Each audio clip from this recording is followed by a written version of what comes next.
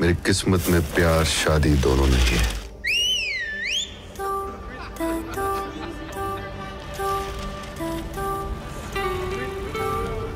People who are linked by destiny always find a way back to each other.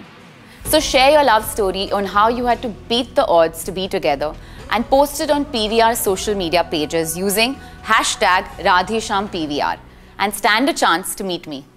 And don't forget to watch my film Radhe Sham releasing on the 11th of March at a PVR near you.